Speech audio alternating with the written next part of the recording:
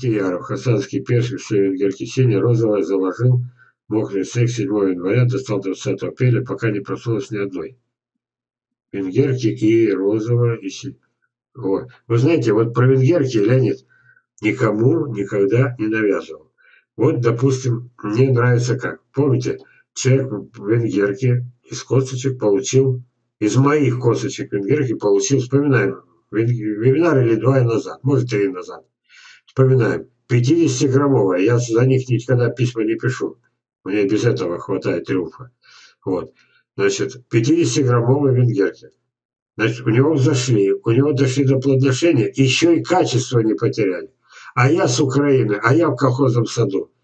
А мы, дети, подрабатывали вместе со взрослыми. То ли 5, то ли 10 ведер колхозу, а 11 мне нам. А они не привитые, а они все крупные. Ну, не самые крупные, ну, вот такие вот, там, 30-40 грамм.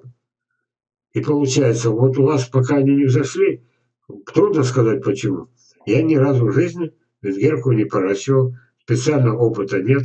Но венгерка – это та же самая слива. Слива я э, это три месяца. У вас получается январь, э, так нет, февраль, март, апрель. Четвертый месяц прошел, нет, еще раз.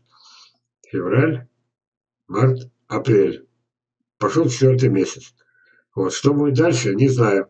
У Сергея позапрошлый год заложил тысячу косточек слив в когда подвое, ни одна не взошла. Прошел год, все взошли. И как такой пселишь еще и больше, чем садил. Вот так бывает. И причем какая-то связь с небом, но не обязательно хорошая связь. Вот взяла не взошло. Это у Сергея, это которого уже э, собаку съел на этом. А взяла не взошла. Ну что, будем ждать. Если у вас венгерки сине-розовые не просутся, ждите еще год. Вот. Может быть, не хватило влаги. Вот. Попробую определить, сколько влаги надо. А может быть, нам это самое, сильно много влаги, они сгнили. Анжелика, я заказывала скотчики абрикосов и заказывал сажу вашего сына. Не, я имел в виду, что вы здесь новичок. А так, пожалуйста, заказывайте, еще заказывайте. Так, Южный Урал, ни одного дождя. Ё-моё. Наталья Северный Казахстан пишет. Подождем. Нас меньше не стало? Не стало. Значит, это... Вы давайте, ребятки, быстренько в холодильник. По 50 грамм стоит, наверное, много. Ну, вот. 50 грамм наливайте. Впереди мы еще с вами отпразднуем. Вы знаете, друзья, только мы начали хорошую традицию с Латинком завели. У меня 12 часов ночи, а у него еще только 10. А мы уже мы это самое поздравляем друг друга и чокаемся об экран. Вот так. И так, как будто мы, как будто мы это рядом. Ну, традиция не получилась, он умер. Вот. Он умер. Так бывает. Так, ну что. Серый Казахстан еще пишет. А вот свежее письмо. Здравствуйте, Валерий Константинович. Ваши саженцы шли посылка 16 дней. 5 мая посадили в холмы, дождя нет, поливая, переживая. Что получается? А, так вы хотите в Казахстан 16 дней, это еще вам повезло. Это еще много. Нет, не так. Это еще нормально. Вот. Поливаю, переживаю, дождей нет. Да уж, дожди это все, и вас тоже дождей нет. Ну, я про эти, про спиленные тайгу я уже рассказывал со злостью. Как лучше поливать? Вода стекает, ветер дует и подсохнет. Чувствовать надо, сколько лить. Тут вторая причина, знаете. Абрикосы и груши легко сгноить избыточной влагой. Вот. Ну, холмы должны быть не такие вот такие, а вот такие. Тогда нормально будет. Так, Марина Кулина. Ну, это Иркутск. Вот, Ирина Тюмень. Давайте еще подождем, раз не хотите со мной расставаться. Вот.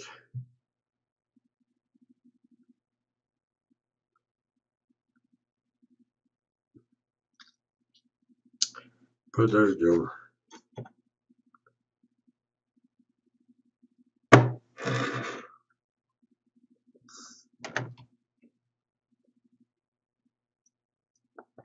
Интересно, девчата Ольга с Натальей пуститься Тимирязевки и уважаемые садоводы откликнутся или не откликнутся. Им давно мог выслать косточки, причем такие, что видели же, на третий год цветы. Вот. И у них были бы эти чудеса. И не надо было бы спорить, дички вырастут или культурные. Так, Марина Кудина. Здравствуйте, зацветает абрикос ассорти 2. Второй год уже, первый год не было плодов. Ну, опылять надо, опылять. Ирина Тюмень. Я холмики поливают так. Протыкаю холм в нескольких местах, поглубже тонкой веточкой поливаю. Ой, елки, а мне в голову не приходило. Я поливаю, она действительно скатывается. Вот. Ну, век живи, учись. Тоненькая веточка, это здорово придумали, чтобы туда попадала влага корнем. А то бывает лешь, лешь, а она вся мимо.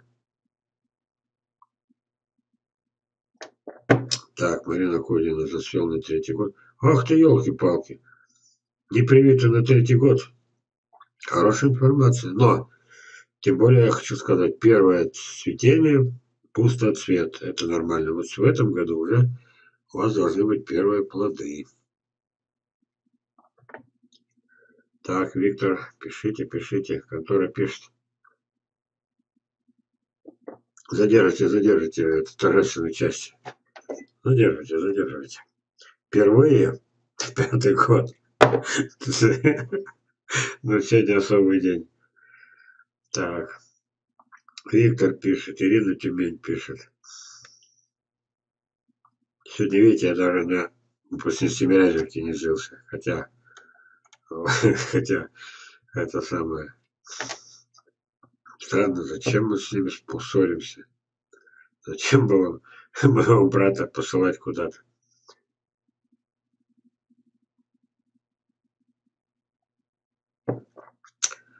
Так, надеюсь, Иркутск, я думаю, опылят. Ну, в Иркутске, если цветут, надеюсь, тоже опылят. Будем надеяться, Виктор пишет. А первый, да, первый урожай обычно ждешь лишний год. Цветет, цветет и все сбрасывают.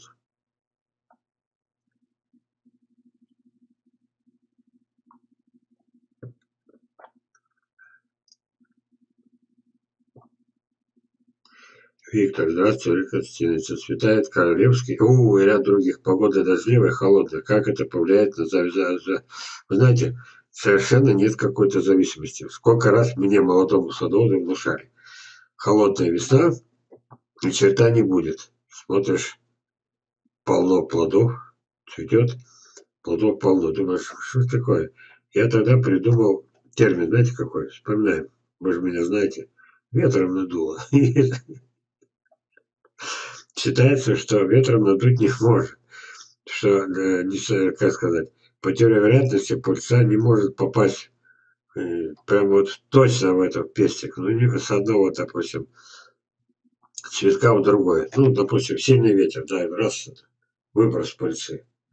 Вот. А у меня, смотрю, бывали весна, десяток шмелей, они не боятся холода, а пчел нет. Ну, смотришь, нормальный урожай. Как я а пчел нет. Ну, смотришь, нормальный урожай. Как я после этого отвечу на ваш вопрос? А, Виктор? Посмотрим, это вы потом скажете, повлияло на завязывание плодов или не повлияло. У меня получалось результаты лучше, чем прогнозы, учитывая холодную весну, отсутствие пчел. Ирина Тюмень. Это весной зацвело несколько абрикосов, посажены косточками. Зацвели на третий год, пчелки летают, я рада. Ирина, из Тюмени. А чьи косточки? Мне нравится, когда мои. А? А вообще, может быть, ответьте в следующий раз. Дело в том, что да, заканчивается третий час, праздник. Вот. У всех на уме. Сейчас я прошу, пока э, это самое никто не пишет, кто не успел, еще минуту жду, сбегайте в холодильник. Вот налейте наркомовские 20, 30, 50 грамм. И сейчас мы будем поздравлять друг друга. Вы меня поздравили, поздравили, теперь я вас. Вот, получится ли торжественная речь, я не знаю. Так, все, никто больше пока не пишет. Итак, друзья, успели налить? Брат, успел налить?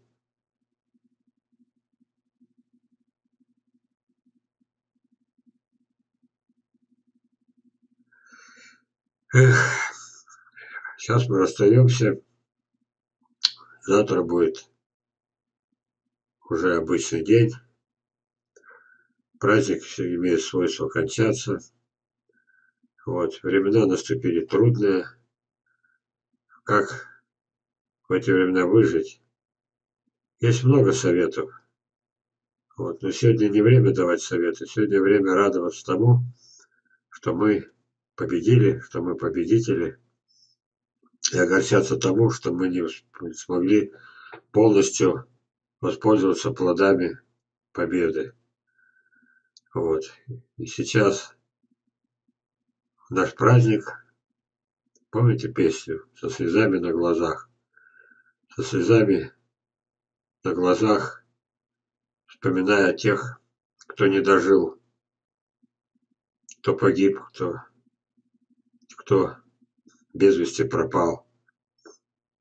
Вот. Кто из араб не дожил до нормальной старости, чтобы копаться в саду. Вот. Когда-то были страшные времена. Я знаю два случая. У меня были письма, которые я называю письма откровения. В двух письмах было написано, проклиная Хрущева, который решил, что мы богато живем, и на каждое плодовое дерево наложил, э, как это называется, налог. Вот. Люди взяли топоры, платить нечем. Отношение к этим жесточайшее к тем, кто не платит налог. Люди взяли топоры. В двух письмах было написано. Отец вырубал и во втором письме то же самое, и умер. Прямо рубя дерево умер, и другой. Вы представляете, какая любовь была к деревьям, но семью надо было сохранить. Сохранить от налога, иначе нищета полная. И это было после победы. Представляете, какая на нас ответственность? Воспитать молодежь, чтобы они и вот это знали. Вот, и знали, что дерево неприкосновенно, что дерево выросло совершенным. Миллионы лет оно выбирало себе, и выжили те, у которых оптимальная форма кроны. Вот. И у нас много в саду помощников. Черви, муравьи. Вот. Самое главное, не калечить деревья. И тогда они обрадуют нас. Вот. Это наша война. Война с невежеством. Друзья мои, я вас поздравляю. Вот. Поздравляю с великим праздником. Пройдет сто лет, и, вот, и кто-то другие будут также говорить, и на нас уже причислять победителям, нас, что мы не дали стране пропасть, а мы на грани этого. Вот, сильно много врагов. Вот, как пел наш великий поэт, писатель, певец. Возьмемся за руки, друзья, чтобы не пропасть поодиночке. С праздником вас. С праздником. Я сразу отключаю, чтобы моих слез не видели. С праздником.